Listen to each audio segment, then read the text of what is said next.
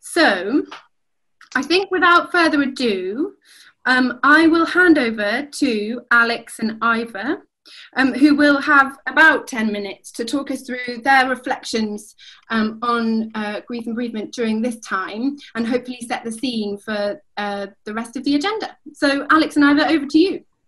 Cool, thanks, Iona. Good morning, everyone. Um, so I'm Alex Evans. I'm the founder of the Collective Psychology Project, um, which published This Too Shall Pass, the report that Iona just mentioned. Just to introduce the project to you, if you haven't come across us, um, the Collective Psychology Project is really about the feedback loops, if you like, between our states of mind and the state of the world.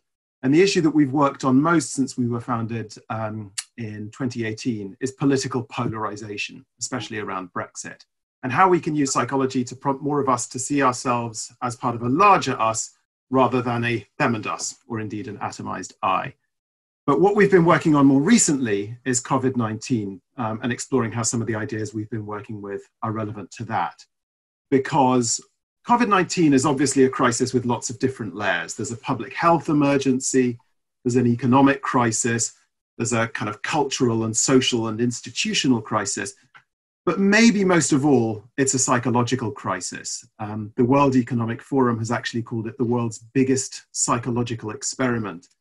And one of the ideas we talk about is that there are almost these kind of, I call them the four psychological horsemen of the COVID apocalypse. There's a loneliness, boredom, anxiety, and grief. And grief is maybe the kind of most complicated because our society, as we know, is not great at grief at the best of times. I mean, we, we have a lot of taboos around the idea of grief. It's something we're often uncomfortable expressing in public.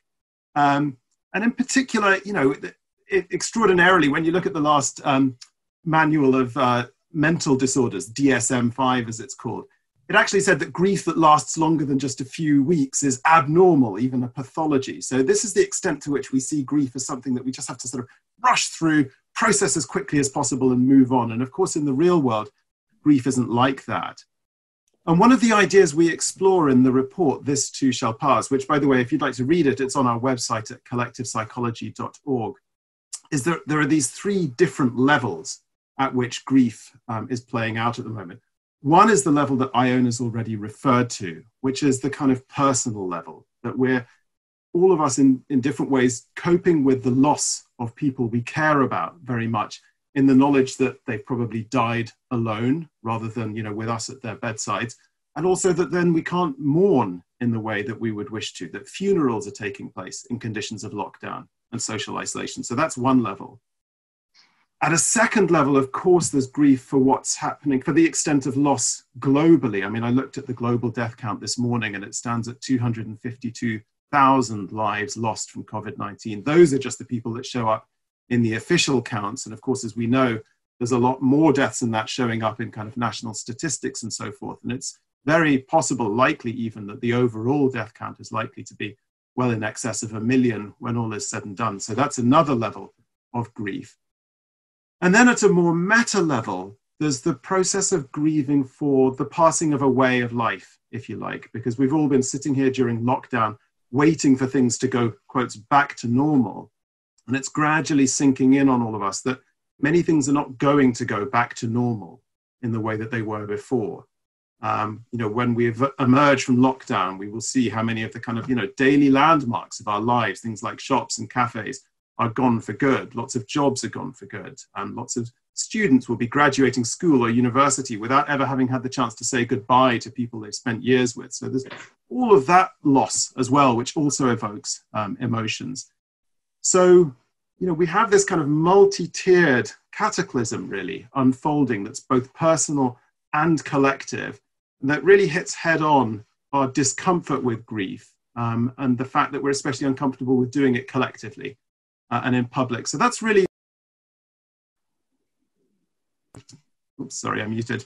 That's really our starting point on this report. But our jump off point is that although we think that this is an unprecedented situation, nothing like this has ever happened before, that actually human history is full of cataclysms like this, when everything we thought we know is falling apart and we're confronted with loss on multiple fronts.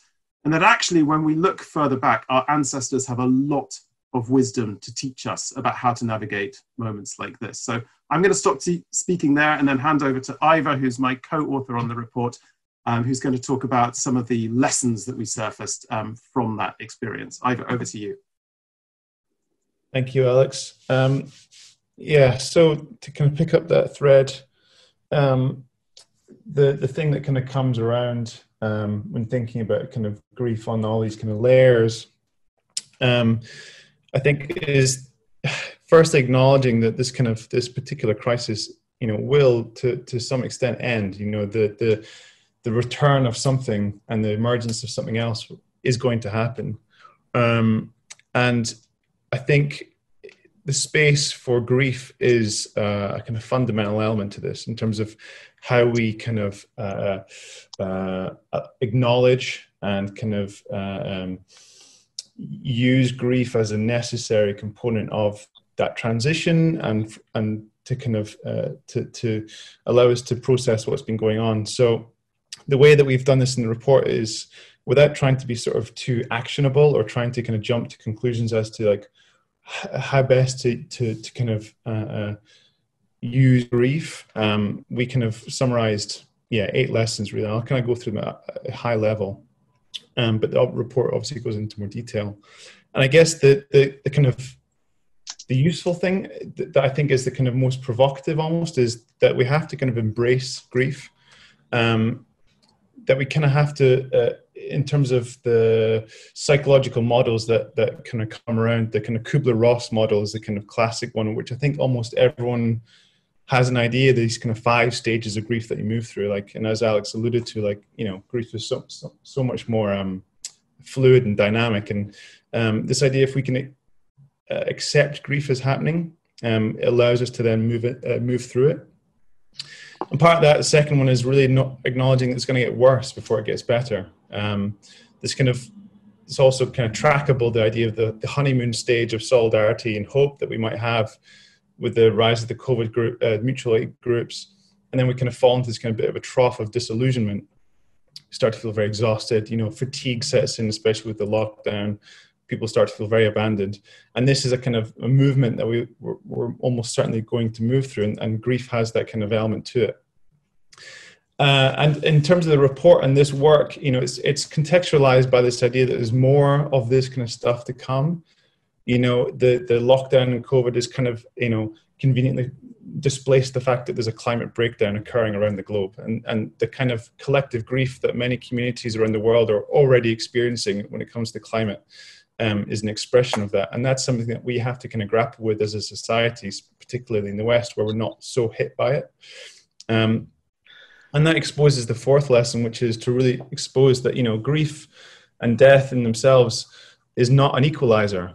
Um, it really kind of exposes the and, and creates new forms of inequality. Um, and grief and bereavement are no less kind of prone to to social injustice than than anything else. And I think that's um, uh, uh, can be quite clear with the organizations you all represent.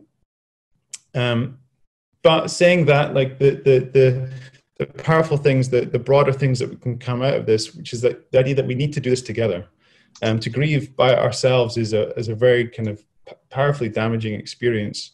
Um, it's by definition a relational experience, and so societies and communities and groups who can mourn together you know have far, far, more powerful resilience when it comes to coping with the, the pain and the, the, the loss of things and so as as alex said like we we feel that there's lots to be learned from how our ancestors grieved if you, th- if you ask a question like you know when someone died how did your great grandmother deal with it you know you can start to understand like everyone has their own every culture has their own way of doing it huge deep history it's it's as old as civilization so there's a whole kind of uh, treasure uh, of of things that we can we can use um, to help us with this kind of collective grief. But at the same time, we can invent new rituals. We can invent new practices. They kind of the clap for carers as a phenomenon is a really interesting one. Like you know, there's a, there's a new ritual that we created almost spontaneously from other countries, and that points to something that we can kind of build on. Um, but lastly, that you know that loss and grief and bereavement are a natural part of life. It's a natural part of the cycle. um, if we if we take out the kind of mechanistic worldview of kind of things being broken or fixed, but understand that there's a flow to things being in states of renewal, um, that we can start to understand that life, you know, is a single natural process, is always in motion, always in flux, and that grief and mourning and loss are a, a, a natural, essential part of that. And so that's a that, that can help us in a way think of it in a positive framing, but understand that this is always going to happen. And so how can we work with that? So those are the eight um, uh, uh, lessons. Um, I don't know if there's anything else you'd like to f- finish with, Alex. No, I think that's great. Thanks, Ivor. Yeah, thank you very much to you both for that. Um, you'll have seen that Alex dropped in the uh, the link to the full report um, uh, in the chat box and we'll make sure that it's circulated uh, in the notes after this. You'll also have seen it perhaps in the email that uh, we sent out this morning, um, which is the weekly Tuesday email. For anyone who's not signed up to that list, it's because you haven't signed up to the coalition. Do drop me an email or directly to hello at connectioncoalition.org.uk to get yourself on that list. It's a scintillating weekly update of lots of things around connection, both in the news, uh, things that organisation members are doing and that you can get involved with, um, and lots of other connection stuff. So um, that leaves us um, onto the sort of meaty practical stuff. So these three wonderful people um, have very kindly given up some of their time and they are on the front line of meeting the kind of community and individual needs um, that their organisations lead on. Um, as I said earlier, we're going to be starting with Andy Langford, who you might also know uh, uh, from some really good public writing he does. He published an article yesterday on uh, the crisis and what Cruse are doing. Um, and he's going to talk us through some basic principles. I say basic, um, like it's that simple, but some of his starting principles for how to approach grief and bereavement. Um, we'll then, as I say, have Suzie on the kind of ch- children's element of this, and then Poppy on the rituals. Um, and I've spelt Poppy's name wrong, apologies. So, Andy, without further ado, over to you. Sure, thanks so much, Iona, and um, thanks Alex and Ivor, for that. that. I found it something really, really helpful. Um, I do appreciate everyone on this call. Really, it's it's it's just great to be involved and on here, and everyone um, sort of working together for this. Um, just in thinking about starting off around what evidence tells us about what people um, need at this time. Um, the, the word that I would use to describe that is it's, uh, it's, it's incomplete. And what I mean by that is that, as is often the case with evidence, you're constantly building and you're building, you're, you're bringing building blocks together and trying to understand how different trends and different sorts of functions fit together. And a lot of what we can learn actually from, from, from how best to cope with where we are now is, as was um, talked about just in those last 10 minutes, is actually looking at history, is looking at also other cultures and other parts of the world. So, what we're experiencing now in the UK is, is we would be fair to say, unprecedented for, for us collectively um, in these current generations. But actually, we've got lots of learning within our society because other people have been through really, really difficult situations where there have been things like um, war, which has been survived, where there's been things like mass migration and thus loss of culture and loss of identity, loss of home, um, and also uh, where people have been involved in, in things like famine, uh, which, is, which has prompted mass death. And so throughout the world, there, there have been incidences where we can draw sort of similar learning. And, and, um, and, of course, sadly, with each of those instances, it's, it's they're tragic situations, but we can draw some learning from it.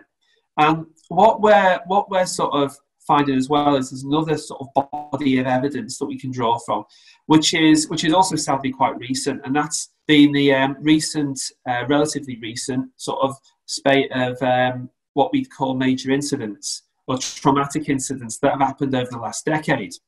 Um, most recent being things like what happened in 2017 in the summer around, um, uh, firstly in, in, in, Westminster with the attack, and then the um, the um, Grenfell, and also uh, London Bridge, sort of Borough Market, Manchester bombings, uh, Finsbury Park Mosque. And whilst we're seeing these incidents, um, obviously you know, the not as many people, there's not as many fatalities in those.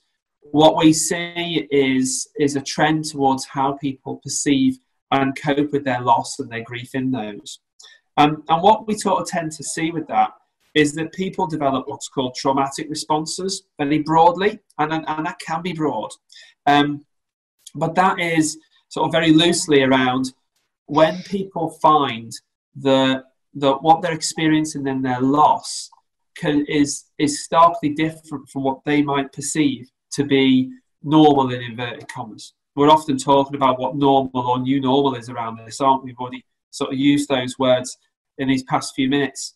Um, but actually, something that our brain finds really difficult to to process. And if if if the death of someone close wasn't difficult enough as it is, then it's made more difficult. And that's when these sort of certain things can arise for us. So what we broadly find is that is that being in this environment where there's grief and there's also potential for trauma, what can be helpful is um, is is something that we that isn't normally ad, um, advocated in the in the in the therapeutic world. Actually, was, is is more of a clinical response earlier on.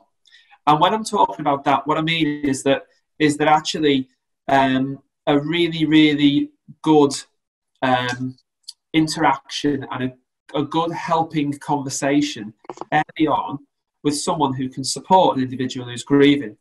And that doesn't need to be a support service. In fact, um, what is, is really, really helpful is people broadly knowing how to speak to someone when they're experiencing this type of bereavement. Um, but it can be really, really important to have that conversation earlier on. Um, and what we, what we find broadly in situations of trauma is that if a conversation about how someone's feeling, how they're coping, who they're linked into, do they need any other support, um, how is their mood at the moment, and do they see a way uh, into the future? Do they have a sense of hope at all? Um, and then they can talk relatively openly with that. That if that conversation happens earlier on, then that can really, really help people down the line. Um, it's whilst it's important it's, it's been important in the past with other types of bereavements and other situations. Um, it's even more important now. And you know what the estimates would be is that if if we don't have those conversations earlier on with people who are grieving, then then they'll they'll experience grief all the more powerfully later on as well as now. And so it's important to know what to sort of include in that really. Um, the the the other thing I just note as well around it is that when we're talking about grief in relation to, to COVID 19, what we've started talking about more in Cruse is around actually grief in the, in the context of a global pandemic. Because uh, everyone is affected by this. So I certainly know people professionally and personally who've been bereaved through um, uh, directly through COVID 19. And I know people who've experienced grief and have lost someone um, in, a, in a death that is not related to COVID 19 at all. But they're experiencing their grief differently. And as we've already talked about just in these last few minutes, is around how um, things like we can't observe the usual rituals we'd have set up and that would be available to us. You know, if we if, if, if they weren't so important to us, maybe what was was actually getting a really good hug from someone who we care for um, and who, who, we know loves us. Well, actually, that might not be possible now, um, or it might be limited. Uh, meeting up with people isn't possible face to face in the same way, and we use platforms like this. Um, and so, and so that's that's there's this difference there, which is uh, not just for any COVID nineteen related bereavement, but for everyone who's experiencing grief at this point in time. And I think that's really, really important. But certainly, uh, we found it important for us to remember in Cruse. And I think it's important for us to continue remembering as we, as, we go, um, because that will echo throughout, not just for now, but for when, the, when any restrictions are lifted, people will still be experiencing um, and remembering what they've experienced now. So, in terms of, I'm sure I've, there's many, many points I haven't hoped to cover what I could in this brief time. Um, in terms of what, what is, what sort of three principles to really um, remember around approaching grief and bereavement at this point. Um, and the first one to remember, we, you know, we think, is that is that grief is different at different times. Now, that is the case. Uh, that was the case before the lockdown, before COVID nineteen. It, it, will be now, and it will be it will be afterwards. Um, so even as we make um, statements in this in this call about what we think will happen or what evidence tells us, um, I'm certainly making them now. What we what we need to hold alongside those is that everyone's experience is subjective and really very different, um, and it'll be different as well for different deaths that we experience. You know, I might lose someone um, this week, but then in two weeks' time, if I experience another bereavement, how I feel about those two may well be very, very different, and one may compound the other. Or I might not actually feel anything at all at this point, it might come up later. Um, and so it's worth bearing in mind that that, that process uh, isn't concrete, and it also, um, you know, as, as, as was said in um, just by the previous speakers there, it's not linear. So we don't experience one feeling and then another and then another and then another set of thoughts and then it eventually passes. It's messier than that. Um, and it's subjective and it's more like a constellation of thoughts, feelings, and what we know more about now as as as physical sensations um, that are really important to bear in mind. They'll be different for different people at different times. Certainly, what we're experiencing more on the on the helpline now, people calling, and amongst things that they're talking about, as well as feeling anguish, as well as um, saying that they feel grief, that they're actually experiencing physical sensations like like intense pain, you know, headaches, backache, stomach ache, those types of things um, that you can associate with that grief. The second thing is that is that once again there is a there's a backdrop of of um, of loss. You know, so um, if you tune, if you see the radio on TV on social media, there's there's, there's COVID nineteen all over really.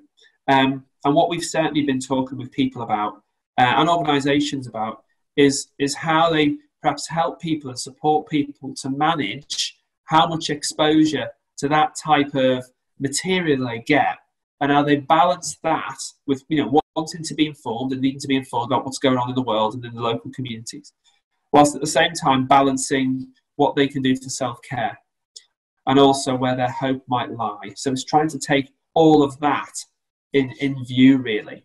Um, and ultimately and not, not in a harsh way we would say it's that's actually about proactively taking responsibility for our own well-being in what is a very difficult situation. So that's important. Um, and also taking some responsibility uh, for each other. And that will get me on to my third point, really, about social contact being vital. So, you know, personally, I'd be happy to share is that I love meeting with people face to face. You know, I I think I think platforms like this are an incredible blessing, and equally, it's it's it's also no substitute for me personally. Um, but also, we have to hold that. We realise that, um, that, that what we have is what we've got at the moment, and actually to use what we've got. Certainly, many of the conversations we're having with people um, coming into our services is, is around encouraging, where possible, to identify who can support them, who they can link into, um, who they feel they can trust with what they disclose, and then also how do they get in contact and stay in contact with those people? Um, and that's really important. It's very important for this context.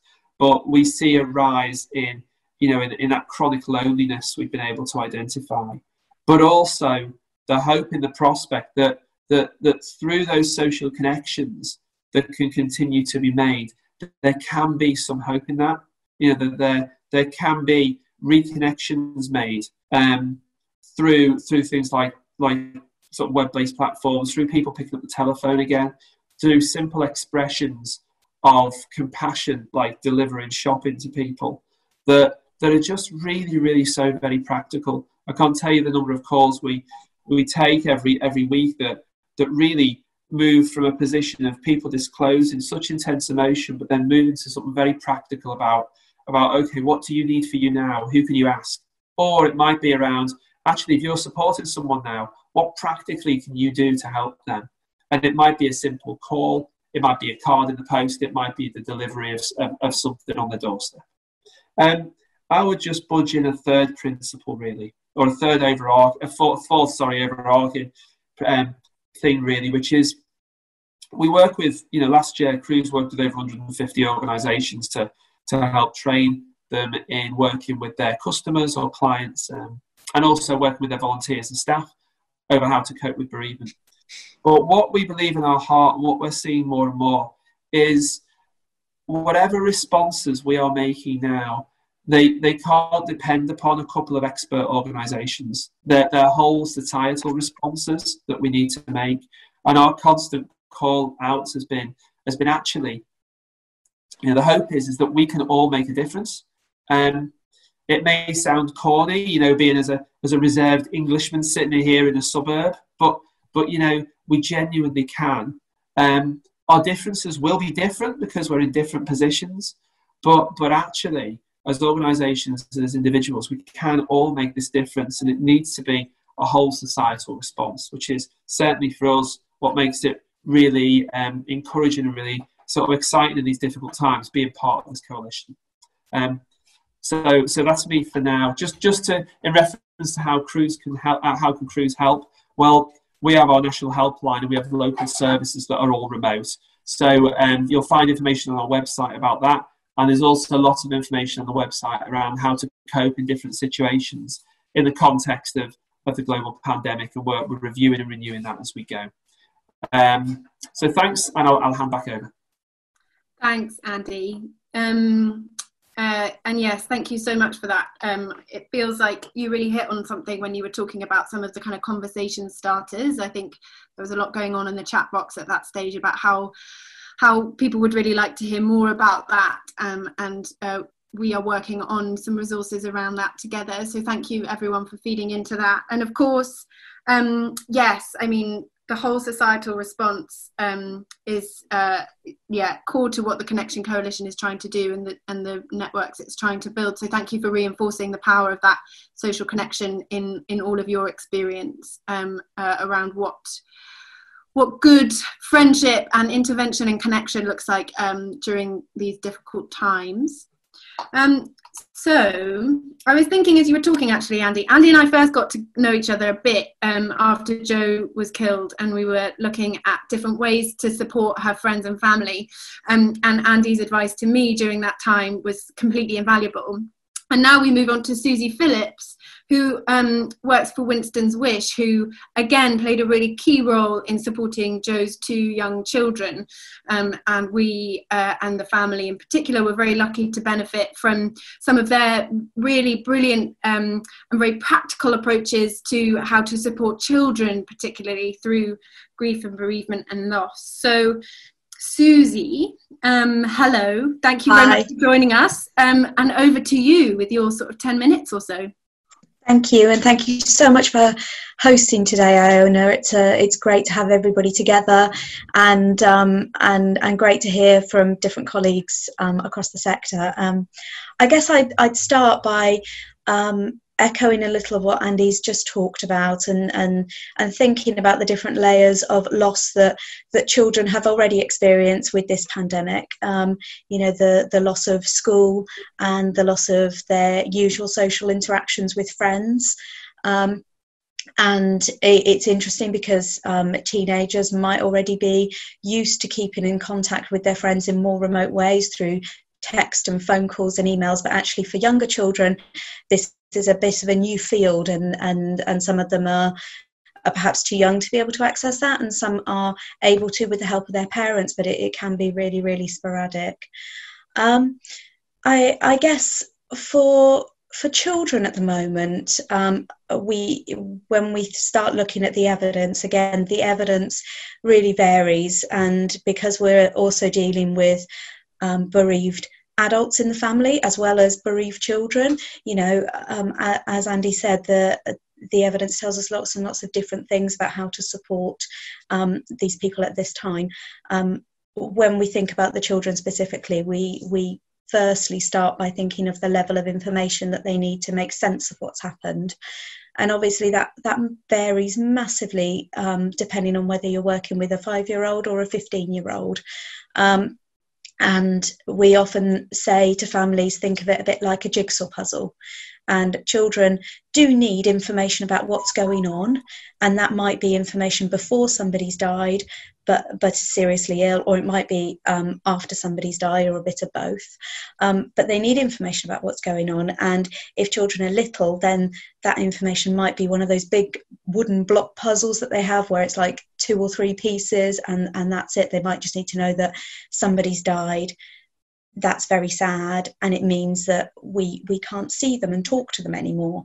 For older children they'll want to understand a little bit more about the context of of somebody dying. You know how did they die? How does this affect me? How does this affect my family and my future possibly? Um, and that can be really complicated. Um, and in this time, um, adults are often in control of the level of information that they give to children, but um, COVID is everywhere. It's um, you know people are talking about it in the streets. It's on the news. It's very difficult to hide the fact that um, uh, the that COVID is here and that people are dying from it, and that we're noticing high levels of anxiety within children at the moment about how it might impact them and their family, particularly if they've had a bereavement in the past. They know that experience of, of losing a parent or a sibling or anybody else important to them, and they're wondering whether it could happen again. Um, so, as much as possible, we're encouraging families, um, where appropriate, professionals who are still linking in with families to really um, work on reassuring children as much as possible. And part of that is making sure that they're well informed um, uh, up to a point that's age appropriate. And, and part of that is also just reminding them about all the people in their lives that are here to help, all the um, you know positive things that are going on, and there are, are lots of positive things going on as well. Um, we're also you know, again, depending on ages and stages, children will have a varying degree of understanding about their feelings. What we know is that no matter what age, children will experience a loss in some way, shape, or form. Even a baby whose parent is suddenly gone will experience that as a separation, will find it distressing. Um, but what's different is how that's expressed. So, um, for um, some children, it will be expressed in the way that they're playing, in the way that they're behaving. For children that have the ability to talk about it, they might be able to to verbalize a little bit of what what they're going through. But even then, um, that that requires a lot of skill to say this is how I'm feeling, and it's to do with my grief. And as adults, we don't always know that, so we can't always expect that from children. And and like uh, like us as well, a lot of the support mechanisms that children would usually use to manage their feelings might not be there. You know, it's not as easy to go out to the playground at the moment. Um, they can't um, hang out with their friends um, in the same way. They can't um, go to school and see a variety of people there and play in the playground. So they're having to adapt in the way that adults are to find different ways of of of dealing with grief, of dealing with difficult feelings, and that can create create potentially quite a stressful family environment when there's lots of different people grieving and trying to manage it in different ways. So um, you know, it, it's as much about everybody trying to be kind to each other, trying to make sense of it, trying to to help each other as much as possible, um, and we've noticed that people are learning and adapting and they're finding new ways to link in with people virtually, um, whether that's phone calls or online chats or whatever that might be. Um, linking in with friends and family and keeping those connections going, um, linking in with school if possible as well, um, and um, and reading information if they're old enough to do that is is always really really important. Of course, a, a, big component for, for children, especially younger children, but all children, um, will be keeping to rhythms and routines. And that's another thing that's been interrupted by by COVID, by lockdown, is that there aren't the usual rhythm and routines of life that they would be used to, and and so that can feel um, disconcerting in itself and, and make feel uh, make people feel a little bit unsure of a situation, a little bit confused, a little bit anxious. So again, it's it's helping children to recognise that and find other ways of managing those behaviours. And again where possible just giving them opportunities to remember as we know and um, you know as poppy's going to talk about more after is um, is that we're having to learn to grieve in different ways because it's not possible to to have the type of funerals that we would usually have to link in with people face to face in the way that we usually would. So um, so again for children to try and involve them in, in that process as much as possible is important but also recognizing that they might need to find um, other ways to to remember that person that's died and to to mark um, their death. Um, again, um, just considering the three principles for approaching um, grief and bereavement specifically for children. Um, I mean, I think it goes without saying that everybody obviously is going to react to um, grief differently. And I've certainly had phone calls with families. I've spoken to mums where she's saying, "Oh, well, my my teenager is up in his room, not wanting to talk to anyone. My um, five year old is having tantrums all the time, and my eight year old is being a superstar and getting on with it." And um, and actually they're none of those is right or wrong. Um, they're they're all absolutely fine. And they're all they all have their challenges in terms of how children make sense of their grief and and learn how to live with that. Um, but it's important to acknowledge that that is all different. I think what what we think about firstly with children is just communication. And often people are really worried about talking to children about a death wanting to protect them from that really distressing element, even though it is a natural and normal part of life, but it, it's something that we don't have any control over. So, just to try and keep in mind that um, it is okay to talk about it, that nothing you can say will make it worse because the worst bit's already happened. That person is already is already ill or has already died. Um, you also don't need to have all the answers. I think as adults, we also feel that we need to give children answers all the time and make things better. And this is one of those scenarios that that isn't always possible. So it, it sometimes being there to listen is the best thing that you can do. And children won't all want to talk about it. Um, but it's okay to make that offer to them all the same and to and to say, do you want to talk? And the worst thing they can say is no. Um, and again, just acknowledging their, their feelings and what they might be going through, um, and and giving them lots of reassurance and taking that seriously as well.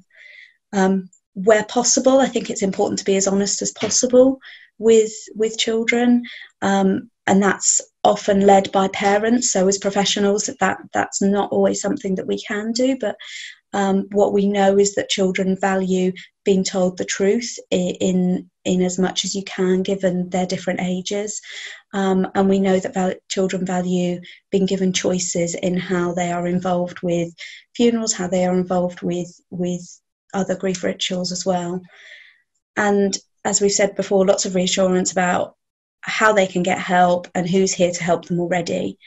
Um, and as the cheeky fourth one, I think it's always good to remember self care for ourselves as professionals and also parents and think and remind them that it's not all about children and their grief. Their grief is so so important and and parents need to be thinking about looking after themselves as much as their children um, Winston's Wish, um, as you've already mentioned, is a child bereavement charity. So we have a range of services on our website. So we've got a section for school, we've got a section for professionals, parents, children, and young people themselves. So we've got lots of specific information related to dealing with grief in the current climate in this pandemic. Um, so do log on and have a look at that. We've also got our national free phone helpline that's for parents and professionals, and live chat and email that's for anybody. So um, all of our face-to-face services have been adapted into digital services. So we are still offering support to families just through different means, as many people are at the moment. Thank you so much. Thank you, Suzie. That was so rich um, and yeah, really, really helpful to hear. Um, uh, interesting that uh, some of the things that children need are the things that adults need. Uh, yeah. As a, as a woman living on her own, uh, dearly in need of a conversation to discuss lots of things, uh, including loss. Um, so yeah, on a serious note, thank you very much for sharing that, um, all of that wisdom. Um, so now we have the wonderful Poppy Mardle, who um, uh, is the, the uh, CEO and founder of Poppy's Funerals. Um, and as I said earlier, it is her birthday, um, which I'd feel very guilty about. But actually, she loves nothing more than talking about how to remember and memorialize and celebrate life as much as mourn death and loss. So I don't feel too guilty about having dragged her on here, although a tiny bit guilty. Um, so, Poppy, over to you um, to share a bit about um, what you're seeing is working uh, to kind of help people come together and sort of remember people despite all of the restrictions we're currently experiencing because of uh, physical distancing. So, yeah, Poppy, over to you.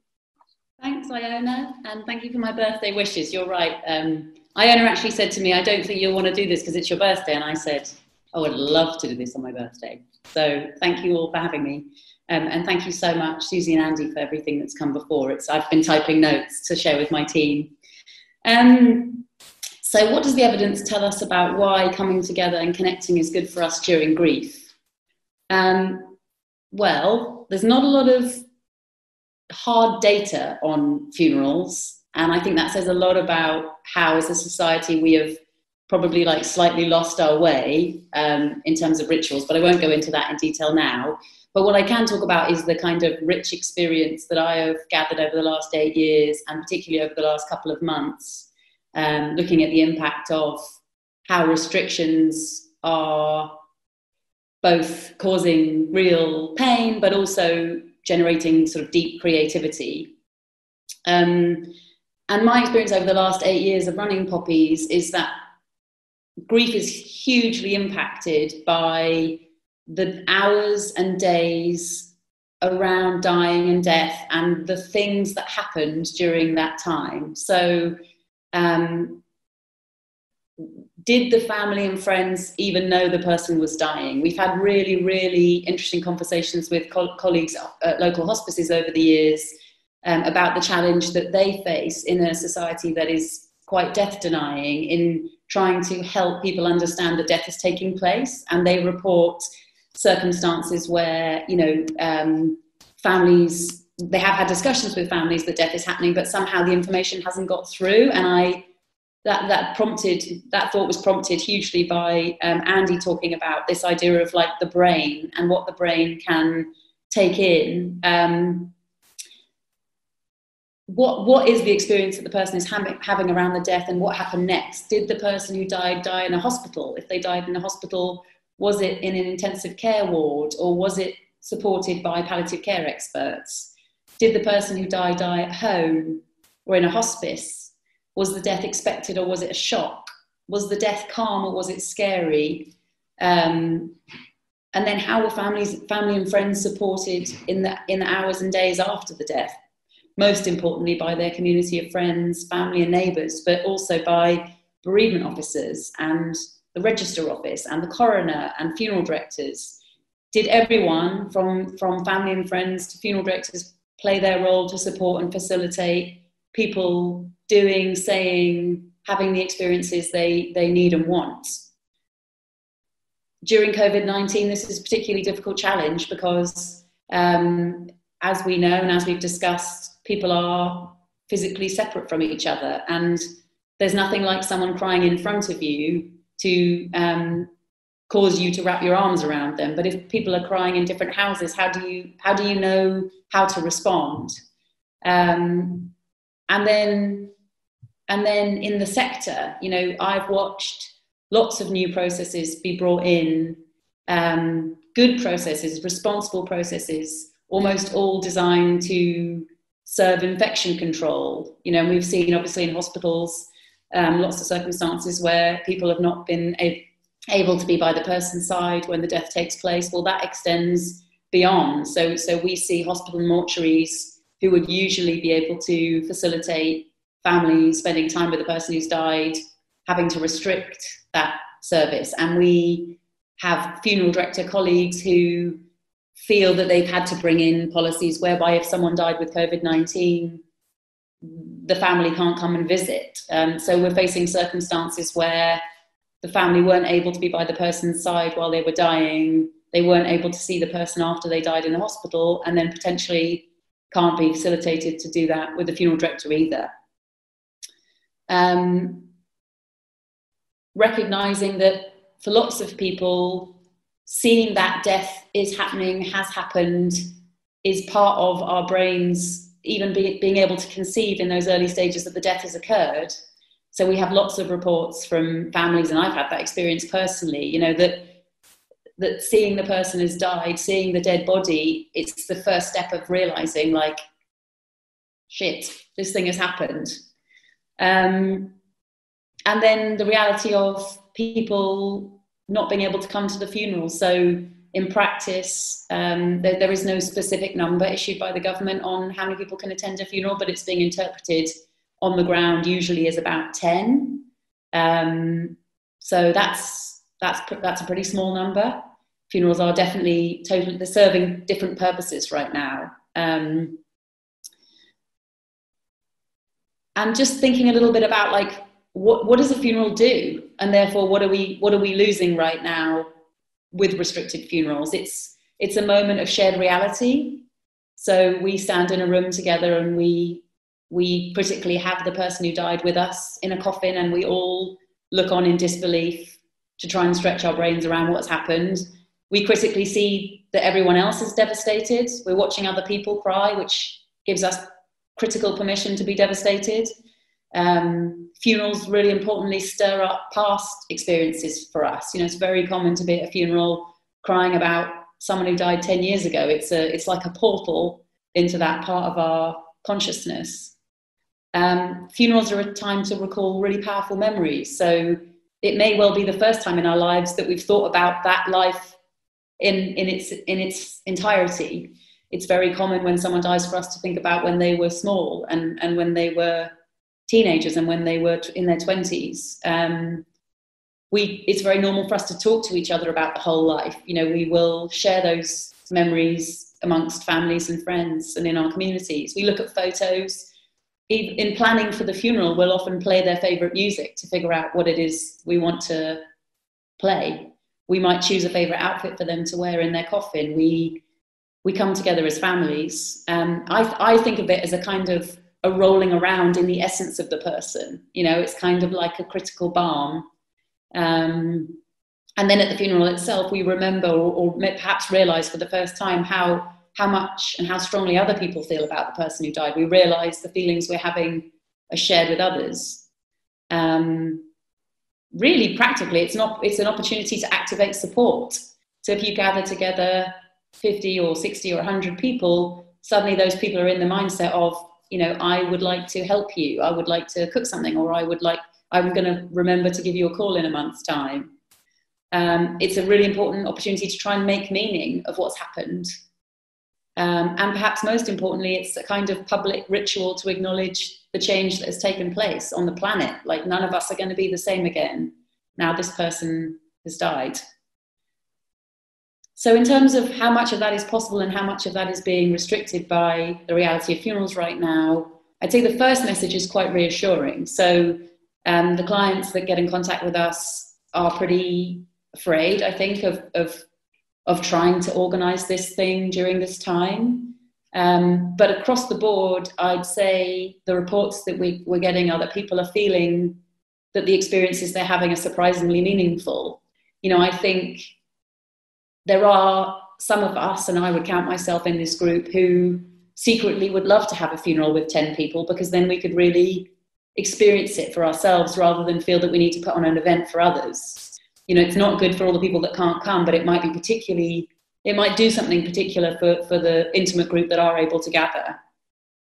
Um, our own head of operations isabel her mum died at the beginning of this um, outbreak not not of covid-19 but a funeral that was meant to be you know 200 people turned out to be just isabel her husband her two small children and her dad and um, it was heartbreaking for her not to be able to do the thing she'd been planning but she's written really powerfully about what she got from it that she wasn't expecting. So I think that's and that that isn't that a kind of wider message of what we're all feeling during this time. Lots of loss and lots of unexpected opportunity. Um, it's also really hard. So we're watching families have to make decisions about who can and can't come.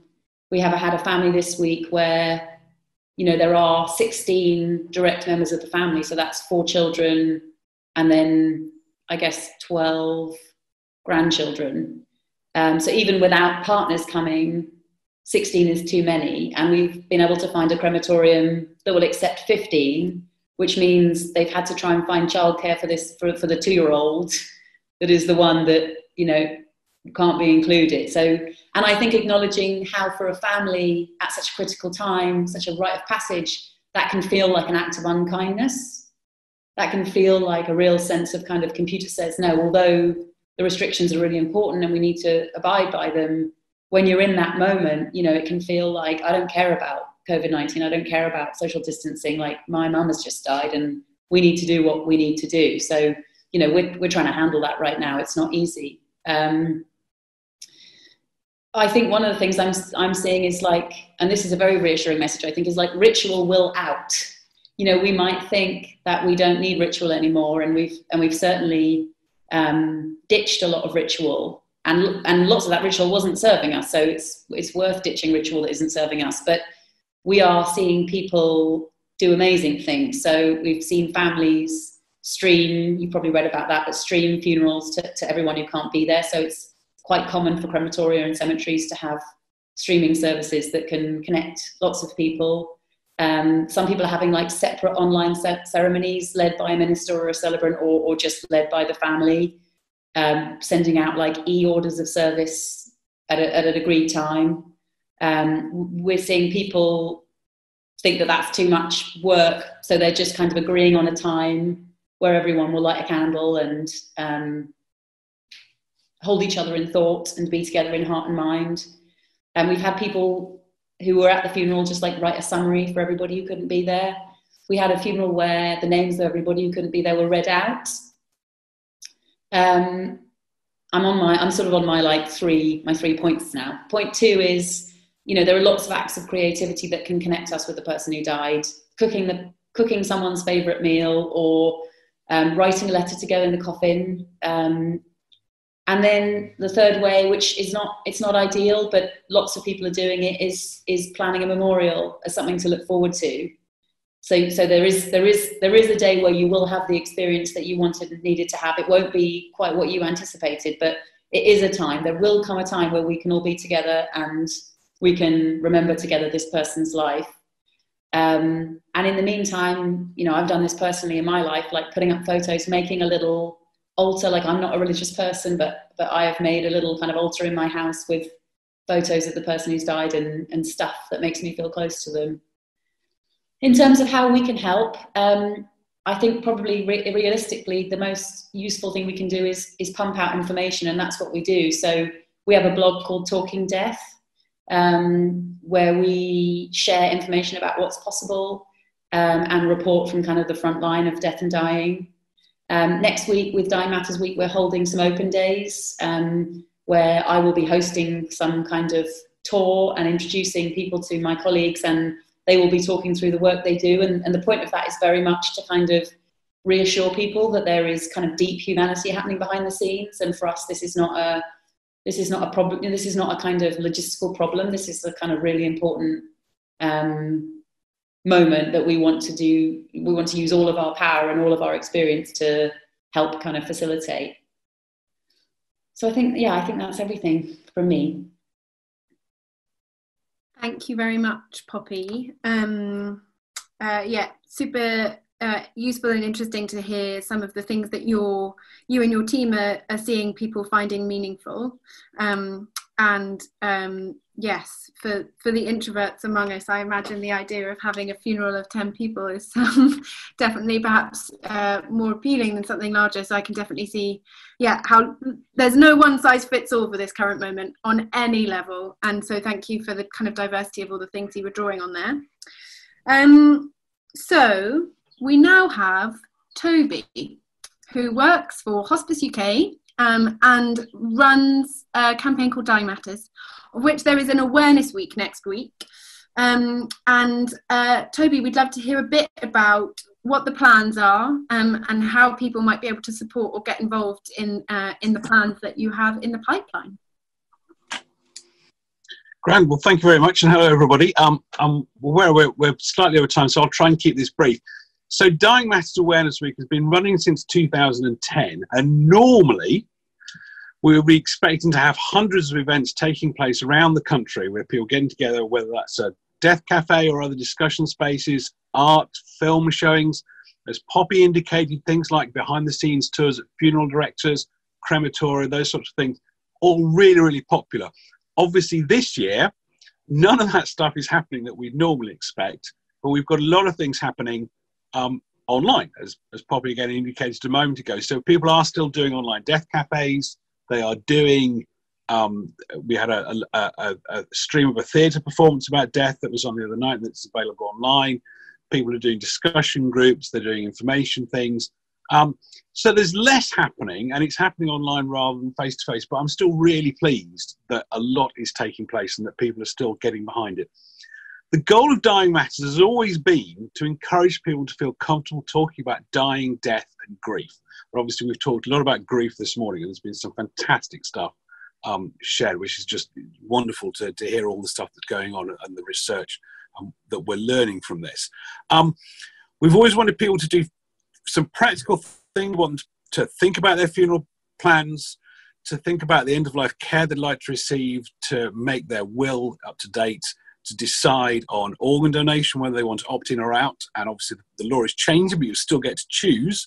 And above all, to write this stuff down and tell other people who need to know it where they can find it, because there's no point making these decisions um, and it being unearthed in a pile of your papers two years later. That's that's no use to anyone at all. So now some of that obviously is affected by this. You might have the most ambitious funeral plan and have fully costed and worked out how it's going to be paid for and everything, but under the current circumstances, you aren't going to get the thing you, you, you wished for. So there's a lot of stuff about further down the line about how we maybe people who are dying now and who wanted a big send off but don't get it now, how that's caught up with later, so to speak, how we make that happen we will be issuing, well, we have issued a press release that will be uh, released from its embargo on Monday. We've done some original research. There's two, we did two sort of stages in research this because the theme for this year is called Dying to be Heard. And our, our strap has always been let's talk about it. But the thing we want to focus on this year is great, we want people to talk about dying, death, and grief, but that obliges someone else to be willing to listen. And so what we're saying is any one person may or may not at a particular point in time be willing to initiate their own conversation about dying, death, or grief. But we, all of us, need to be willing, wherever possible, to at least listen when someone else wants to talk to us about death or grief.